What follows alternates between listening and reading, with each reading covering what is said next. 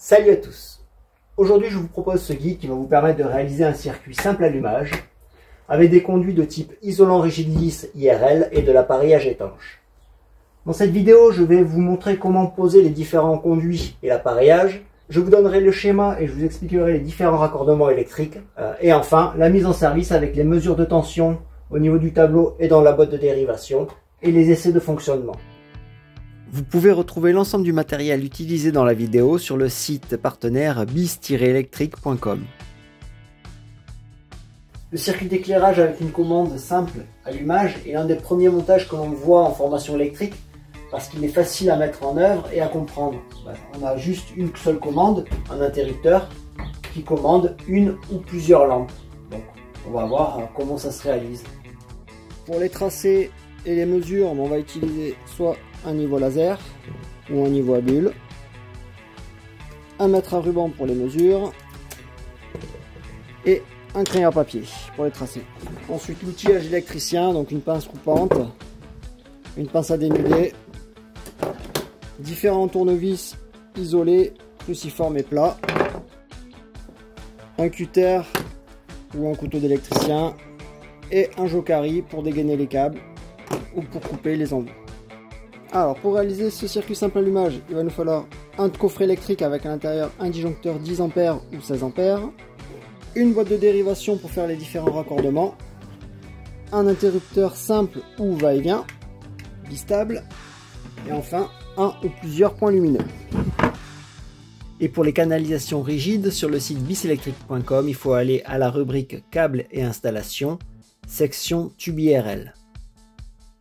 Là, vous aurez les différents diamètres proposés, 16, 20, 25 et 32. pour ma part, j'ai utilisé des tubes de diamètre 20 mm et en dessous, vous aurez les différents accessoires permettant de réaliser des angles ou des dérivations et fixer les tubes contre la cloison.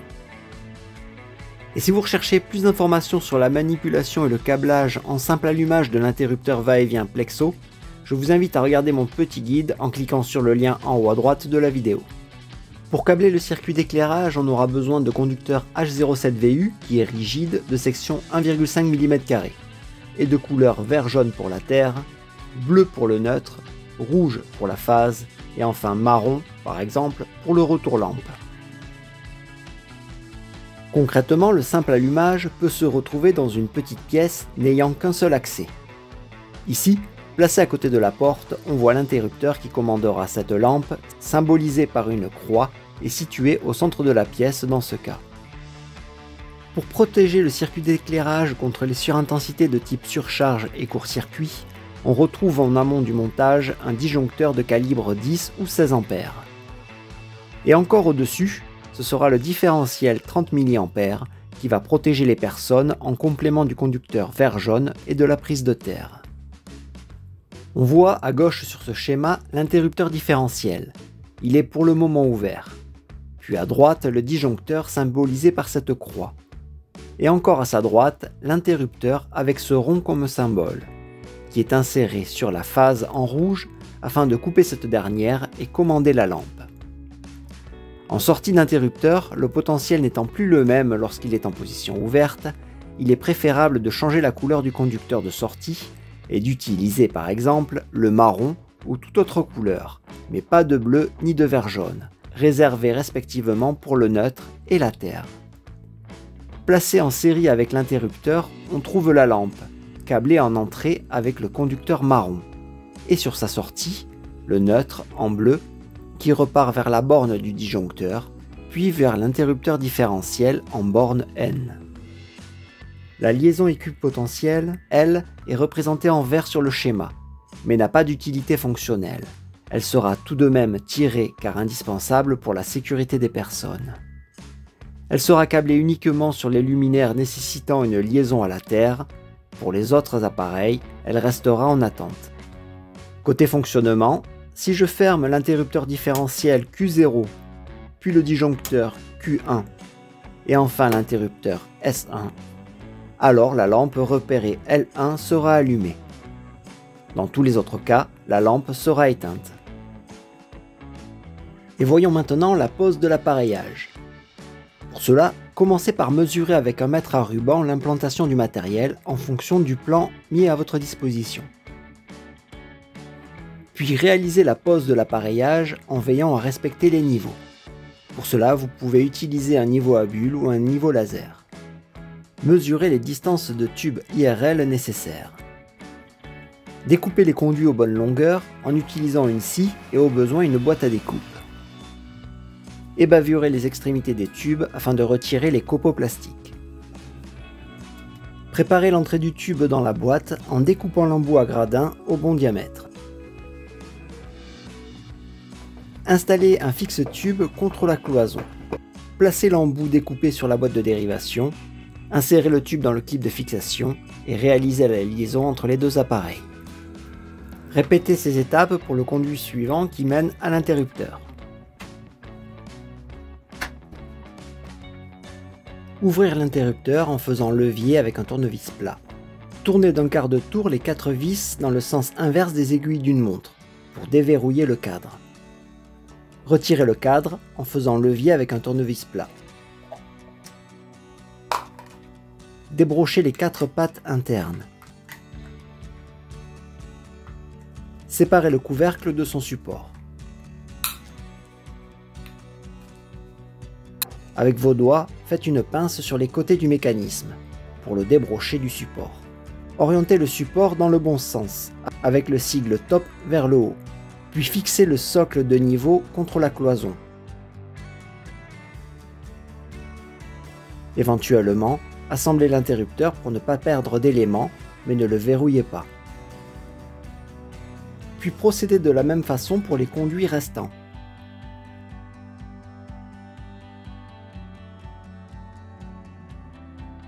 Et enfin, positionnez le luminaire contre la cloison. Globalement, voilà ce que va donner le câblage avec l'implantation du matériel. Mais d'abord, voici le symbole de l'interrupteur et de la lampe positionnés sur le visuel. L'objectif lors des raccordements sera de tirer trois conducteurs, un rouge, un bleu et un vert jaune, allant du tableau jusque dans la boîte de dérivation. Puis faire passer deux conducteurs, un rouge et un marron, de l'interrupteur jusque dans la boîte. Enfin, de la lampe vers la boîte, trois conducteurs, un marron, un bleu et un vert jaune. Et à l'intérieur de la boîte de dérivation, il suffira de relier entre elles les couleurs identiques, en utilisant pour cela 4 wagons ou des dominos.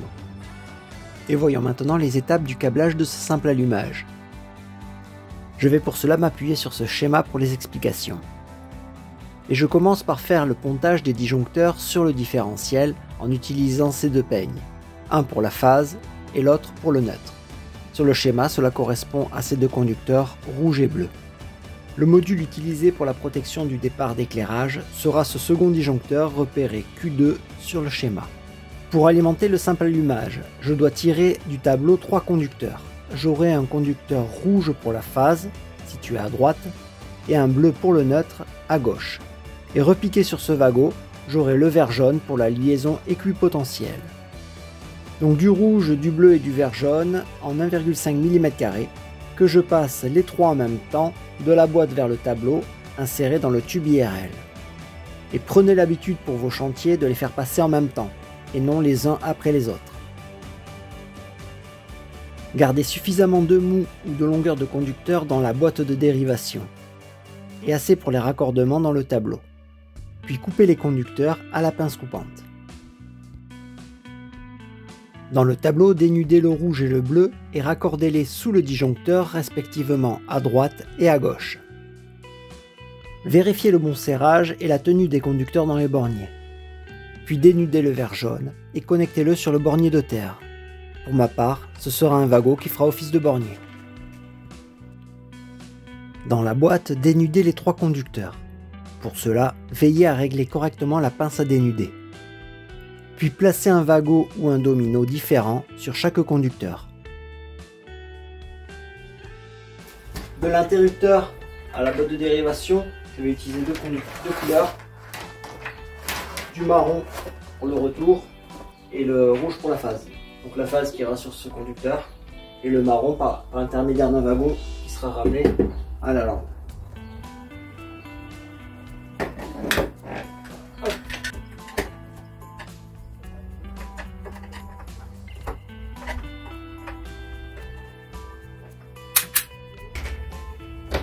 j'enlève euh, le mécanisme de l'interrupteur et je fais passer mes deux conducteurs.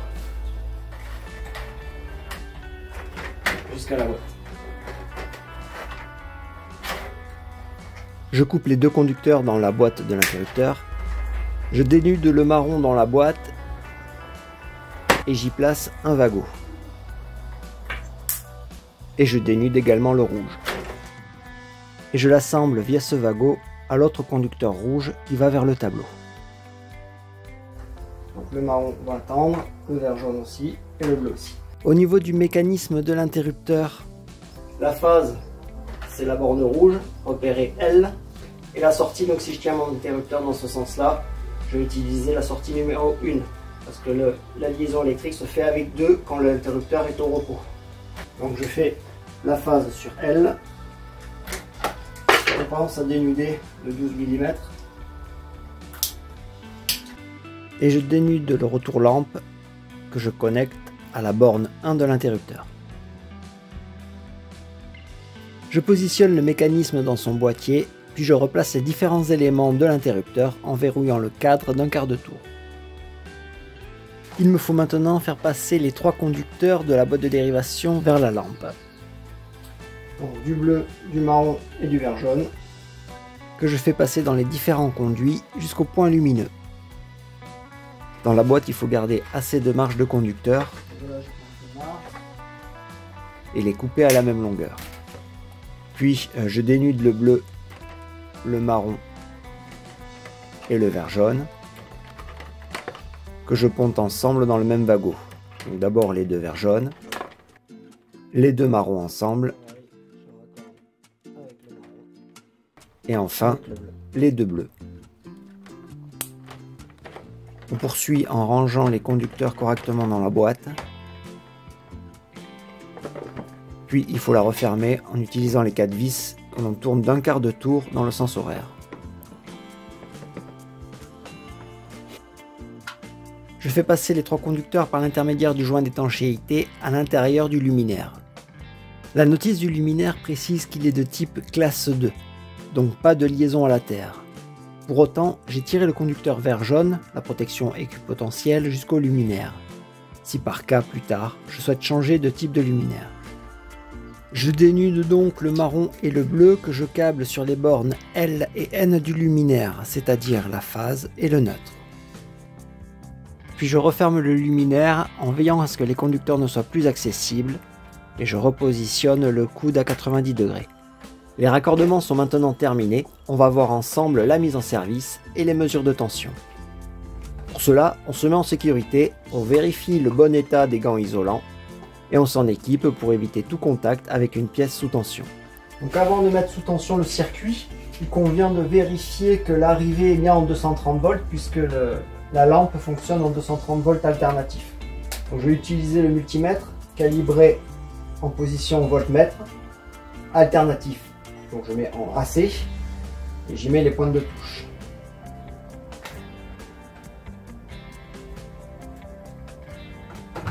On vérifie bien qu'on soit en AC. Et je vais d'abord regarder en amont du différentiel, donc sur la partie gauche, entre neutre, la borne de gauche, et la phase, celle de droite, la tension que j'ai. Donc là, à l'heure actuelle, j'ai à peu près 230 volts, donc mon arrivée est bien en monophasé 230 volts. En sortie du différentiel, pour l'instant il est ouvert, je dois avoir 0 volts. À peu près 0, quelque chose, donc 0 volts. Si je referme le différentiel, par contre, le potentiel de 130 volts arrive en sortie du différentiel. Donc j'ai bien 230 volts. Vu, vu qu'il y a un peigne en sortie du différentiel qui ponte chaque disjoncteur, je vais avoir 230 volts en amont de chaque disjoncteur. Donc le premier 230 volts, le deuxième 230 volts, le troisième 230 volts et le dernier j'ai également 230 volts pour alimenter mon circuit lampe, ce dernier est raccordé sur le disjoncteur 2, donc je dois fermer le disjoncteur 2. Je vérifie en sortie de ce disjoncteur que j'ai bien 230 volts. La tension est bonne, je peux tester mon montage. Interrupteur fermé, la lampe s'allume. Interrupteur ouvert, la lampe s'éteint. Donc on va voir ensemble les différentes tensions que l'on peut observer dans cette boîte de dérivation. On a quatre potentiels différents. Le potentiel rouge, donc qui vient du disjoncteur, c'est le 230 volts. Le potentiel neutre qui vient également du disjoncteur. La terre qui provient du tableau. Et le marron, le retour lampe qui va de l'interrupteur à la lampe. Donc pour mesurer ces différentes tensions, ces différences de potentiel, j'utilise toujours le voltmètre en position voltmètre alternatif volt alternatif. Bon, d'abord, on va regarder entre le rouge et le bleu, la phase et le neutre. On doit avoir normalement 230 volts entre phase et neutre, entre le rouge et le bleu. Maintenant, regardons la tension que l'on a entre l'entrée de l'interrupteur et la sortie, c'est-à-dire entre le fil rouge et le marron. L'interrupteur, là, est dans la position ouverte. Lorsque l'interrupteur est ouvert, j'ai 230 volts à ces bornes. Si j'appuie sur le poussoir, donc sur l'interrupteur, la lampe s'allume, mon interrupteur à ces bornes, j'ai 0 volts. Pourquoi? 230 volts sur la phase, le conducteur rouge, Vu que l'interrupteur est fermé, ce potentiel de 130 volts se répercute sur la sortie, sur le conducteur marron. Donc la différence de potentiel sera nulle, soit 0 volts. Je réouvre l'interrupteur, on a 230 volts. Maintenant, regardons le potentiel qu'il y a entre la phase rouge et le conducteur vert jaune, la terre. Phase et la terre. Je mesure 230 volts. Pourquoi? Parce que sur la phase, j'ai 230. la terre, j'ai 0 volts. Donc la différence de potentiel. 230 moins 0, ça donne 230 volts. Et enfin, observons la tension entre le neutre et la terre. Le neutre, son potentiel, c'est censé être 0. Et euh, la terre, 0. Donc la différence de potentiel, elle est quasi nulle. Donc là, elle est de l'ordre de 2,5 volts. On peut la négliger, donc elle est quasiment nul. Et voilà, ce guide en vidéo est terminé. Si vous a été utile, pensez à liker la vidéo et à la partager. Je vous en remercie. Et je vous dis à bientôt pour une prochaine vidéo. Et vous pouvez retrouver cette activité pédagogique sur le site electrotoile.eu à la rubrique Bac Pro Melec. Puis en cliquant sur le lien Les activités pratiques et chantiers pour le Bac Pro Melec.